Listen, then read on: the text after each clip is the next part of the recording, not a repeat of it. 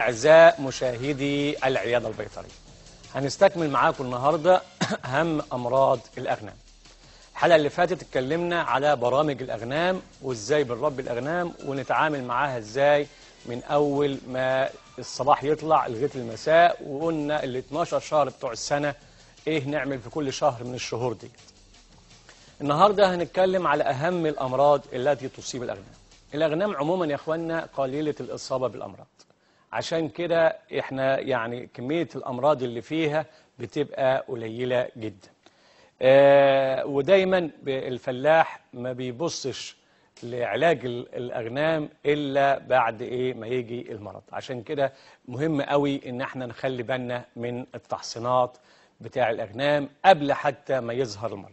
إن شاء الله حلقة النهاردة هنتكلم فيها عن كل ما يصيب الأغنام وتحصينات الخاصة بيها والأهم الملاحظات اللي نعملها عشان نقي حيواناتنا من أهم الأمراض.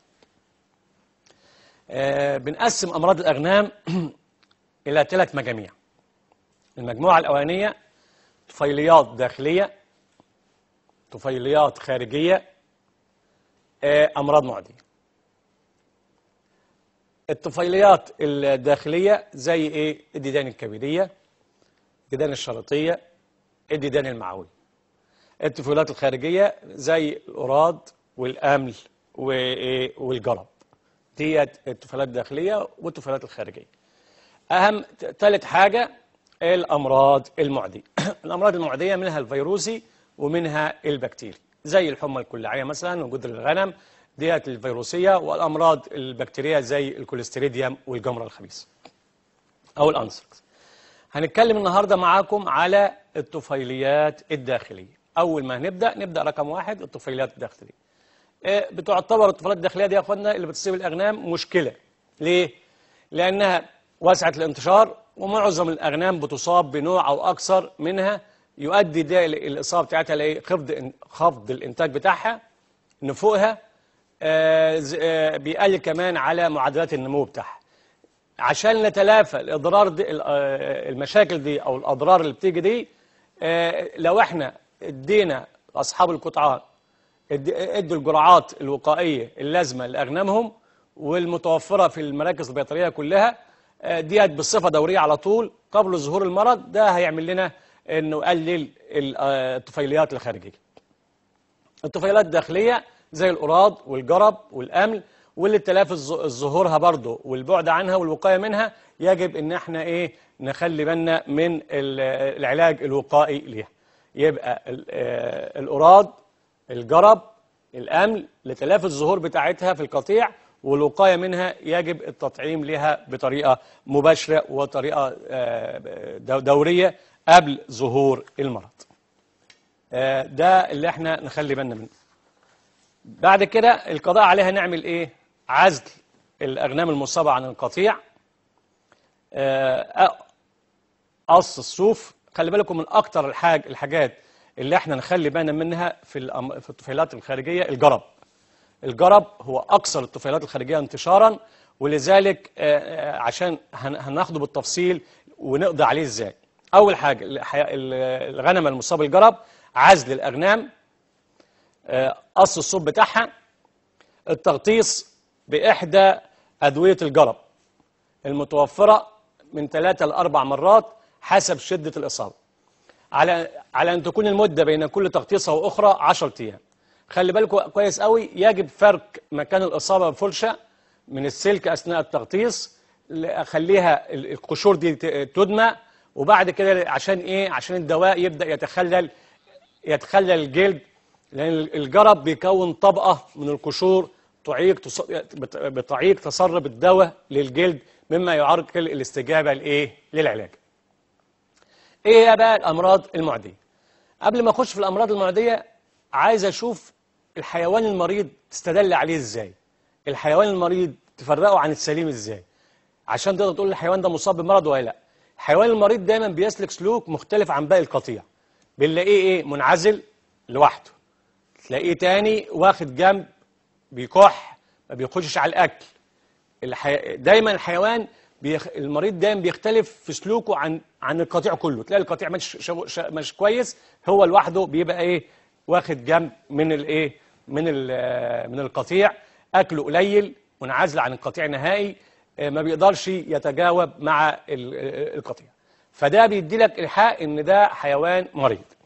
إيه أهم الأمراض بقى اللي هنتكلم عليها يا إخوانا؟ أهم مرض عندنا بنتكلم عليه اللي هو آه، الحمى الفحمية أو الجمرة الخبيثة أو الانثراكس ده آه، من ضمن الحاجات الأمراض اللي هت... أول حاجة هتقابلنا في آه، الأمراض البكتيرية اللي بتصيب الاغنام المرض ده مرض بكتيري شديد الضراوة آه، بتسببه جراثيم عصوية الشكل آه، بنسميها ال Bacillus anthrax الجراثيم ديت بتقعد بتعيش في التربة سنوات. سنوات طويلة. ممكن تنتقل العدوى عن طريق العلاء العلائق الملوثة. العلائق الملوثة من من حيوان مصاب آه، بإفرازات الحيوان المصاب بتنقل للإيه؟ الحيوان السليم. وبرضه ميه الشرب والاستنشاق ولدغ الحشرات والجروح كل ديت بتؤدي إلى إيه؟ نقل المرض أو نقل العدوى بهذا المرض.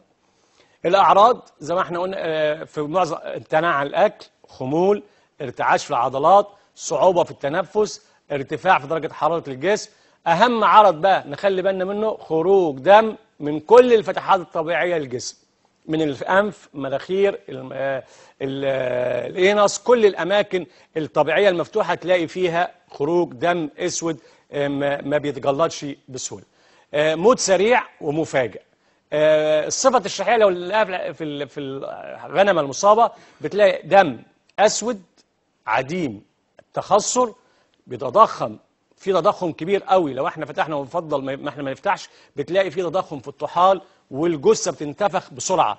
الحيوان بعد ما يموت تلاقي جثته انتفخت بسرعة ومفيش فيها ال rigor mortis ومفيش فيها الايه الت- التخشب أو التصلب بعد الولادة بعد الم... بعد النفوق. التخشب والتصلب بعد النفوق.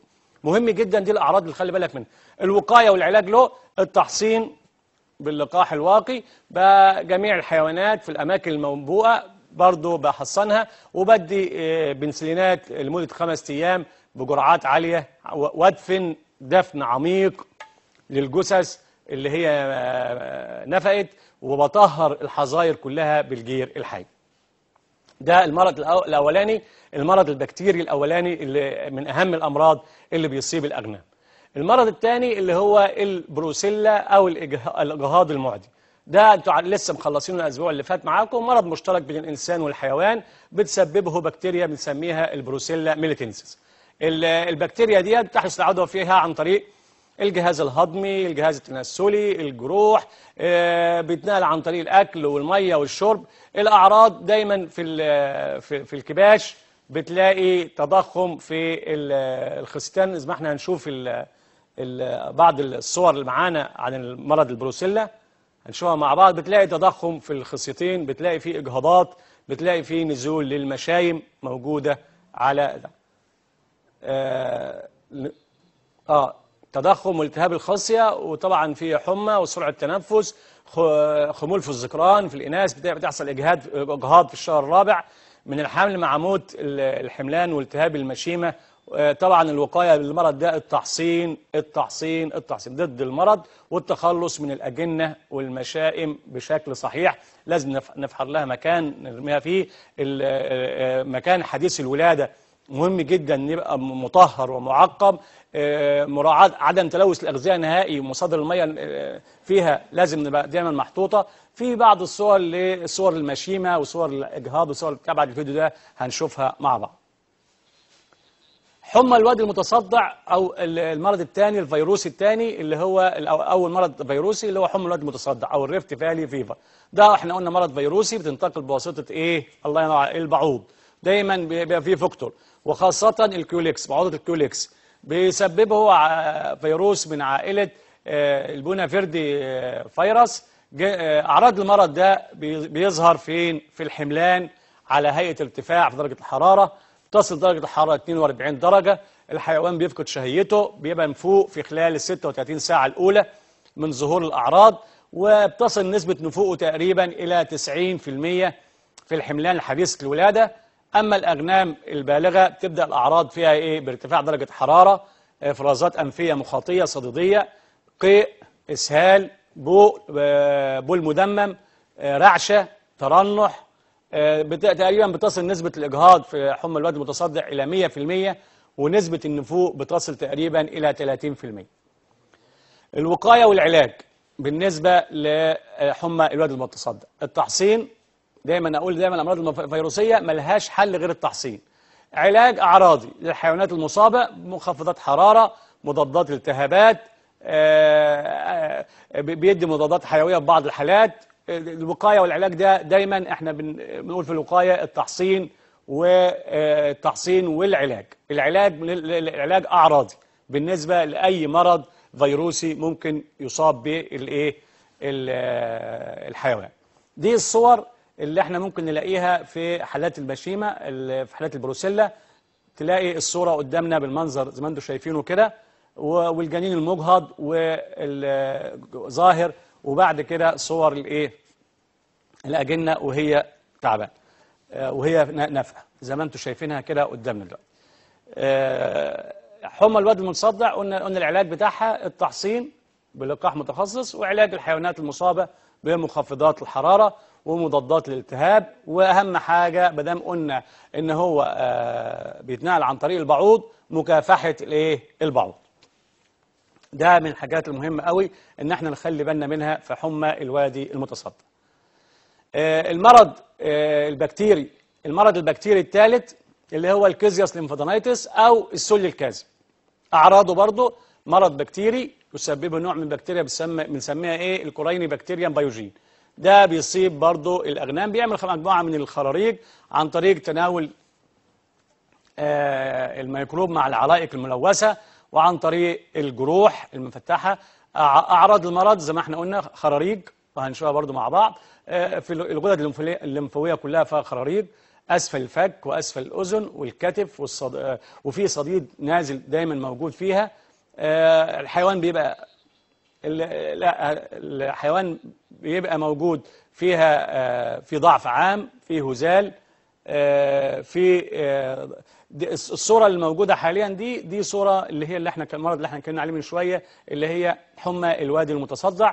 دي صورة الكبد بتاعه والص- والصورة اللي وراها دي خاصة بحمى الوادي المتصدع. اللي وراها على طول صورة ال- السل الكاذب. اللي بعد دي على طول الجزء الثاني اللي هو السل الكاذب ده الخراريج بتلاقي علاج الخراريج جرا... العلاج إحنا بنع- بنعالج الخراريج جراحيا. وبعدين أهم حاجة المواد الصديدية يا أخوانا بندفنها بندفنها آه هي اللي في الصورة دلوقتي ديت. دي ده السل الكاذب. مجموع- مجموعة الخراريج كلها موجودة زي ما إحنا شايفينها قدامنا اهي.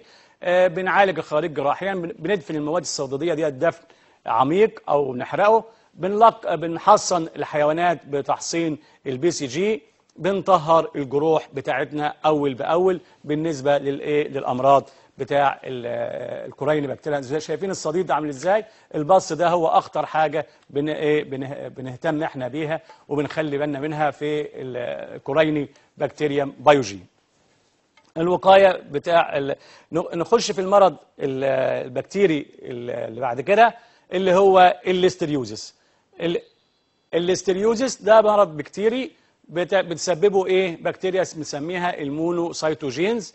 ديت monocytogenes Listeria. دي بتنتقل عن طريق برضو الأكل وال- والهواء. آه، إذا دخل الميكروب عن طريق التنفس بتظهر أعراض على الحيوان عصبية جدا وبيدور الحيوان في اتجاه واحد وتقريبا بينفق أكثر من 25% من الحالات المصابة من القطيع في خلال فترة قصيرة جدا يومين بالظبط ويحصل إيه؟ النفوق ويحصل إجهاض. ال- الجنين يفقد ال- ال- العشار يفقد وإن الجنين يتفقد من الأم إن انعاج العشار كلها بتبقى إيه؟ آه، 80 20% منها يحصل إجهاض فيها. ده لما دخل. آه، أكل ملوث بالبكتيريا mono ال Listeria monocytogenes للحيوان. دايما بقول في كل مرض الوقاية منه إيه والعلاج إيه؟ الوقاية منه لغاية ما هاجي في الآخر أقول لكم التحصينات كلها لأمراض الدواجن. الوقاية والعلاج من الاستيريا عزل أول حاجة عزل الحالات المصابة. مراعاة إن المكان يبقى نظيف الغذاء الغذاء المقدم للحيوانات نظيف. لما يكون في حالة وباء وحالة مشاكل عندي بفضل دايما في حالات البكتيريا بدي البنسلينات لأنها تعتبر أرخص حاجة وأقوى حاجة في الوقت ده بالذات في ال- الليستيريا وفي ال Clostridia وكل معظم الأمراض البكتيرية. المرض البكتيري اللي بعد كده اللي بيصيب الأغنام برضو بنسميه إحنا السالمونيلا أو ال salmonellosis ده من الأمراض البكتيرية ال- الخطيرة اللي بتص- بتصيب الحيوانات وبتسبب إسهال جامد جدا لإيه؟ ل- للحيوانات وبترفع وفي الحملان بالذات بيبقى ال- الحيوان بي- بي- يخش في حالة بي- بيخش في حالة آه، اسهالات ومشاكل دايما في العجول الغذائية. الوقاية برضو زي ما إحنا قلنا عزل الحيوان عزل الحيوانات المريضة عن الحيوانات السليمة. آه، الحفاظ على استخدم نخش مضادات الحيوية طبعا مضادات التهاب.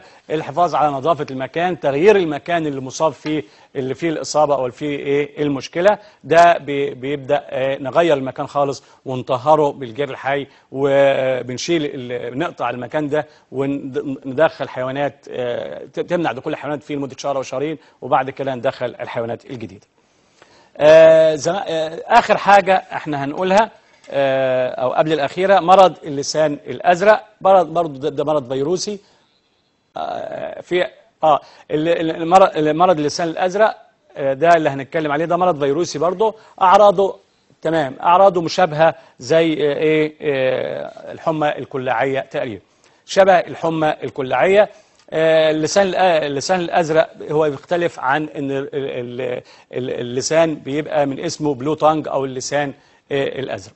ده برضو حمى فقدان للشهية إفرازات من الأنف وتقرحات في الفم آه، زي تقريبا مشابه زي ما أنتم شايفينه في الصورة كده مشابه للحمى الكلاعية آه، مرض الحمى الكلاعية المرض ال- الفيروسي ال- ال- قبل الأخير اللي هو ده طبعا قلناه كتير قوي وحفظناه كتير قوي في موضوع ال- ال- البقر آه، مرض فيروسي له سبع عطرات بيصيب الحيوانات بيؤدي طبعا إلى خسائر كبيرة نتيجة للنفوق وانخفاض الإنتاج. ال- الأعراض يا أخوانا تقرحات بين الأظلاف يؤدي إلى عرج آه، التقرحات ديت د- د- دايما بنلاقيها في الفم. آه، النفوق في العجول الرضيعة أو في الحملان الصغيرة. طبعا بيحصل إجهاضات للعشار طبعا بيبقى في إفرازات من اللعاب كتير ارتفاع في درجة الحرارة آه، صعوبة تناول الغذاء آه، طبعا نتيجة الالتهاب الموجود آه، الوقاية عشان ده مرض فيروسي نقي نق- نقي نفسنا منه إزاي؟ الله ينور عليك. بالتحصين. التحصين اللي بيحتوي على اللقاح العطرات المحلية الموجودة إحنا عندنا حاليا معترف بيه ثلاث عطرات وبنستخدم كمان إيه ن- آه، نغير الوسط ال- بتاع الفم عن طريق حمض البوريك أو عن طريق ال sodium bicarbonate نحطهم فين في الفم. آه، طبعا الحمى الكلاعيه أنتوا كلكم حفظتوها العلاج بتاعها علاج آه، الأقدام وعلاج الفم علاج أعراضي بندي مضاد حيوي مضاد التهاب بنعزل الحيوانات وأهم حاجة التحصين.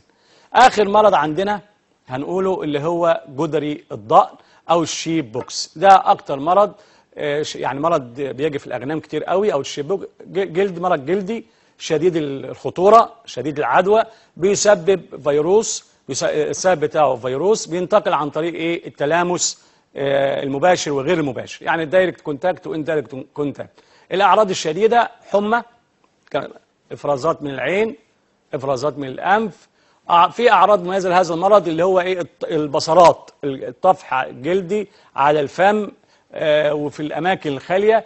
ودايما بتبقى البصرات ديت بتنفجر آه، سايبة مكانها قشور.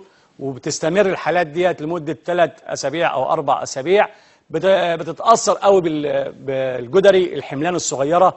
وبتنفق آه، في الحالات الشديدة ويموت كميات كبيرة منها قوي العلاج والوقاية قلنا إيه؟ التحصين. تحصين الأغنام بلقاح جدري الأغنام.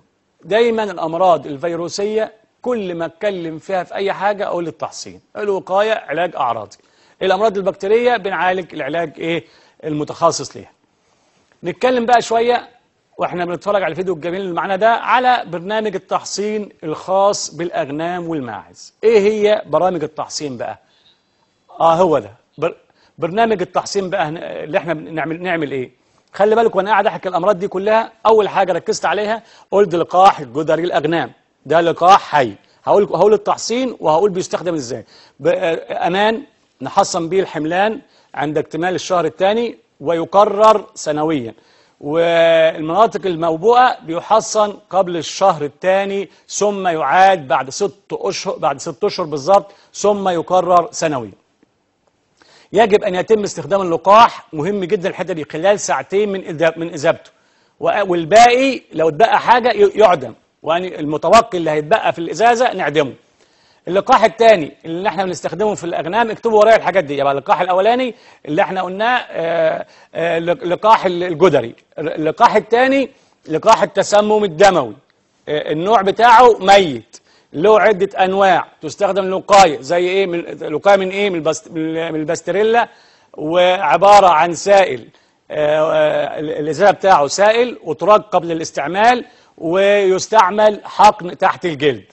بالجرعات اللي هي موصى عليها. يعني كل الجرعات تبقى هي آه، اللي مكتوبة على البنفلت لازم تستخدمها زي هي مكتوبة. يعني الجرعات اللي جالك قال لك أكتر من 30 كيلو ياخد 2 سم تحت الجلد يبقى أكتر من 30 كيلو ياخد 2 سم تحت الجلد. أقل من 30 كيلو ياخد 1 سم تحت الجلد يبقى أقل من 30 المكتوب على البنفلت لازم تنفذه بالظبط. الحيوانات البالغة تعطى جرعتين بين كل منهم أربع أسابيع ثم تعطى جرعة سنوية كل عام للحيوانات الايه الصغيرة الموجودة. الحيوانات الصغيرة اللي هي ال- الحملان اللي جاية من أمهات متحصنة اللي أنا بتكلم دلوقتي على الباستريلوز اللي هي بالذات ال Bovipast وغيره. يتم تأخير التحصين عندها عن الأسبوع الثالث. ندي جرعتين بينهم أربع أسابيع ثم جرعة منشطة سنوية أخرى. دايما ماشية حسب البنفلت اللي موجودة عندك أو الروشتة الموجودة عندك على التحصين. الحملان اللي من أمهات غير محصنة يجب أن تحصن نهاية الأسبوع الأول. بجرعتين برضو بينهم أربع أسابيع ثم جرعة منشطة سنوية في حالة المناطق الموبوءة يتم تحصين عدد قليل من الحيوانات لمعرفة رد الفعل خلال ثلاث أربع أيام. وبعد كده آه، خلي بالكم يا إخوانا من الملاحظات المهمة جدا إن أنا ما حصنش الحيوانات المجهدة. ما في بعض الحالات هيظهر لك عقد آه، تراوح حجمها ما بين 2 سم 3 سم بعد التحصين وهتختفي بعد شهرين. ده رد فعل طبيعي للتحصين.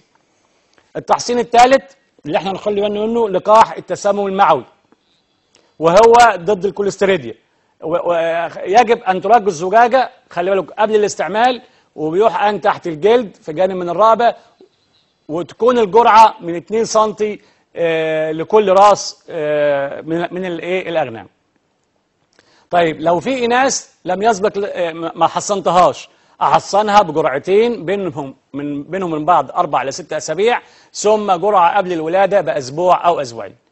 الإناث اللي سبق تحصينها تحصن سنويا ب 2 سم أو حسب المكتوب في الجرعة قبل الولادة بأسبوع أو أسبوعين. الحملان اللي ناتجة من أمهات محصنة نقسمها كالتالي مجموعة معد معدل الذبح. دي تحصن مرة واحدة آه، 2 سم وبعد كده خلاص. المعدل التربية بقى دي نحصنها في الأسبوع السادس وبعد كده بأربع أسابيع ندي جرعة تانية ثم نقرر ال- الجرعات دي سنوي. آه، الح- الحملان الناتجة من أمهات غير محصنة يعني الأم أصلا مش محصنة لما أجي أشتريها أحصنها بجرعتين بينهم وبين بعض من أربعة إلى ست أسابيع و- وأكرر سنويا بعد كده. آه، الذكور الس- الذكور البالغة اللي هي بقى لها فترة عندي بحصنها سنويا. ده آه، برضو 2 سم تحت الجلد. ده معظم التحصينات آه، اللي إحنا بن- بنحصنها في قطعان الأغنام. في التحصين قبل الأخير اللي هو لقاح السول الكاذب. ده بيستخدم برضو 2 سم لكل رأس برن- برنامج التحصين اللي إحنا قايلينه ال- الأغنام هنحصنها لناس هتحصن. كل ال- ال- المجموعات اللي إحنا هنبدأ نحصنها نعمل حسابنا الجرعات الج- الجرعات زي ما هي مكتوبة بالظبط على البنفلت هنعملها ب- زي ما هي. آه، قال سنتي يبقى سنتي قال من أربعة إلى ست أسابيع أربعة إلى ست أسابيع. الجزء اللي هيتبقى مني أعدمه لازم أرج الإزازة كويس قوي قبل ما أشتغل. ال- ال- ألاقي أراعي عملية وأنا بحصن التحصين يبقى في منطقة في كيس أسود. محاط بتلج غير معرض للشمس. ده كله عامة التحصينات على التحصينات كلها بالنسبة للحيوانات. آه، مشاهدينا الأعزاء مشاهدي العيادة البيطرية هناخد فاصل. وهنستقبل بقى تليفوناتكم بعد الفاصل في في مواضيع الأغنام أو غير مواضيع الأغنام على الهواتف المثبتة أسفل الشاشة. فاصل ونتواصل.